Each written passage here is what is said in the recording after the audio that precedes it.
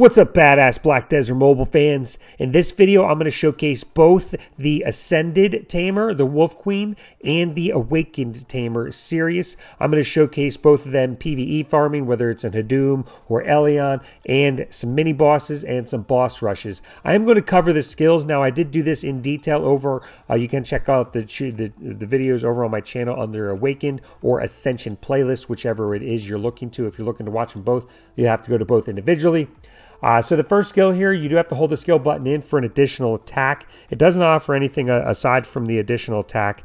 The Both these classes come with a solid amount of super armor, and uh, three for each of these does work in the arena, so they are pretty solid arena classes. The second skill does give you super armor, but not in the arenas, and it applies a daze on successful hit. This damage, this skill does also have a pretty solid amount of damage tied to it. 860% on two hits, so you're looking at uh, 1720% in total. The third skill again does not is giving you super armor, but not in the arena. So a lot of I mean six super armors in total. Uh, so you're going to be that is very strong for Node Wars, Siege Wars, and Remoteness. It also applies a stun, so you are getting some CC out of that skill. The next skill here, it applies super armor and it works in the arena and it bounds targets. And this skill's nice because it pulls all the targets towards her. Now it does 180% damage, but it does 12 hits during that time frame.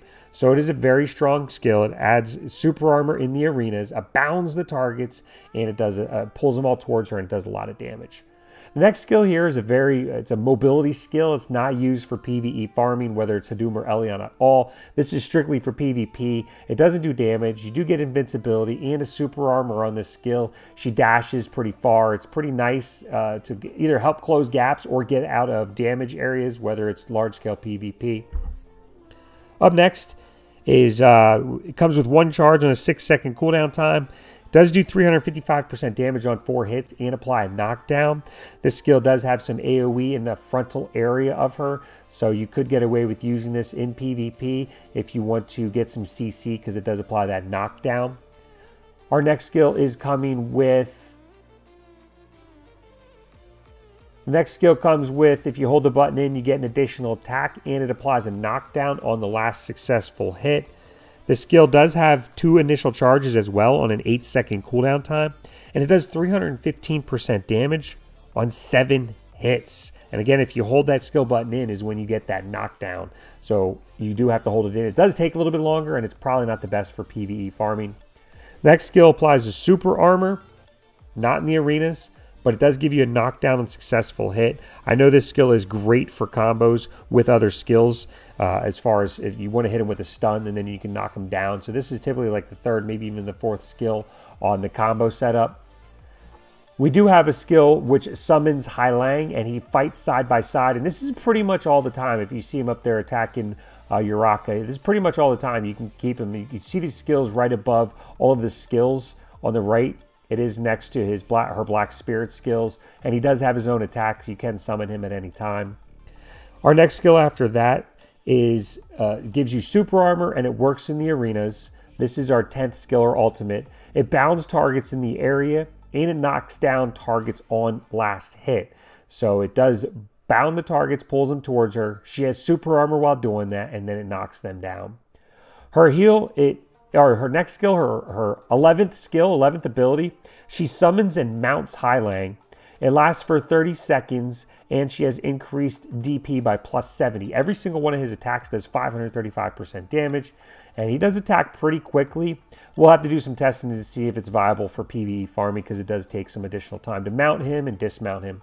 Her heal slash ultimate heals her for the standard 500 HP, increases her AP by 35, and crit by 10%. That does last for 30 seconds as well. Her full kit for the Ascended Wolf Queen, the Tamer Ascension. She comes with six super armors, three work in the arenas. She has four knockdowns, two bounds, one daze, and one stun, as well as one invincibility. And that invincibility is tied to that mobility skill that she has, which is for PvP. So that is the full Ascended Tamer Wolf Queen. You can see here some more here, action here. Some, some on the big screen so you guys can see what she looks like. She is very fun to play. Especially when you mount the wolf. mounting that wolf is actually incredible for helping level, especially you know at the beginning levels, because he he keeps your AP and DP and he keeps the strength. Whereas uh, if you don't have her, him the skills, it's based off of your skill damages, and his band damage is based off your AP and DP. So it is nice for leveling. Mounting, you can see him right here. We're mounted up on him. So that aspect is a lot of fun. He is very quick too, so for mobility, you can get around very quickly with him, especially if you mount him for bigger node wars and siege wars and stuff like that. Up next, we have the Awakened Tamer Sirius. Now, both of these classes will require uh, new weapons, so if you plan on playing either one of them, you are going to need to save up some Shakatu coins to get their new weapons. Sirius, the, awa the Awakened Tamer, for her first skill, She's coming with applies a bound. It also gives a combo effect. If you hold the skill button in, it applies an additional attack and a knockdown on successful last attack. It is a very nice skill. It can be used in all situations, PvP, PvE. I do like it a lot. And you will see some PvP action with her. I was able to get some footage so you can see her in some arenas. She is awesome. Her second skill Comes with super armor, works in the arenas, a daze on first hit, and a stun on last successful hit. And this is an NPU skill, so it comes on a 5 second cooldown time, does 550% damage on two hits. Up next, the third skill applies a knockup on successful hit. This skill isn't viable for PvE farming of any sorts. This is strictly a PvP skill. It does apply that knockup on successful hit. It comes with one charge on an 8 second cooldown time. The next skill applies a stun on successful hit.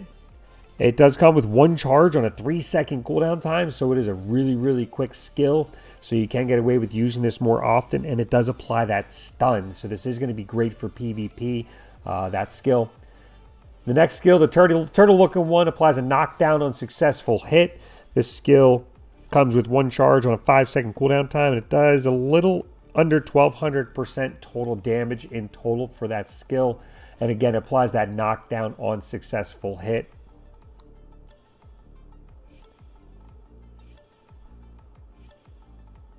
The next skill we have is coming with invincibility while preparing the skill, super armor with the skill, but neither of those work in the arenas. She like stands on her staff and jumps forward and it applies a knockdown on last hit. The next skill comes with super armor, is not in the arena as well. A knockback on first hit and a knockdown on last hit. Kind of looks like a flaming uh, dragon there. It is a very nice skill for both PvP and PvE. I do like it a lot. Our next skill looks like a ice ice guy there. Comes with super armor, is not in the arena, and stun on successful hit. And again, I don't have names for these skills because oh, they always come translated wrong. So I'm just showing you the images of the skills and then telling you what they do. This one does have two charges on a 7 second cooldown time. And it does 1440% damage. So it is pretty decent on the damage output. And it gives you that stun. No super armor in the arenas though. Our next skill gives you forward guard and super armor, both apply in the arenas, and a knockdown on last successful hit. And this is the ultimate for Sirius, so this is a very, very strong skill for all scenarios. Up next is super armor applies in the arenas, bound, and it pulls the targets closer towards her. And this is the 11th skill for the Sirius. And so it pulls targets towards her. This is not a PvE skill. It pulls targets towards her. She she grabs them and then she like kicks them backwards. So it is a nice skill for PvP because it does apply in the arenas as well. But I would probably stay away from the skill for PvE farming because it's not quick. Uh, it does take a little bit longer to bounce those targets. For her heal, it's a 500 HP passive heal. She does get 50 AP increase for 30 seconds as well, so it's pretty standard there. She does also have Heilang as well. He can be summoned at any time as well. Same with both the Awakened and Ascended versions. They get Heilang to fight side by side her. He does attack mobs in PvP, PvE, all scenarios. He helps fight. So he is a nice little sidekick. Like I said, both the Awakened and Ascended version get Heilang as a sidekick. But the Wolf Queen, the Ascended version, she gets to ride him, and that is her 11th skill. And, it, you know, he does some extra damage. He offers a little bit more mobility over there. So for her full kit for Sirius, She's coming with six super armors, three apply in the arenas. She's also coming with six knockups and or knockdowns, one daze and three stuns, two bounds, one invincibility, and one forward guard. She, she has a pretty versatile kit. Now, both of these classes are mostly melee classes. They don't offer many ranged skills, so you will have to fight mobs, bosses, uh, PvP up close. They do offer some, some versatility and mobility, both of them, so uh, playing both of them can be a lot of fun. That is the Ascended and Awakened showcase of the Tamer. I hope you guys enjoyed. If you did, make sure you hit that like button on your way out. And with that being said, I will see you next time.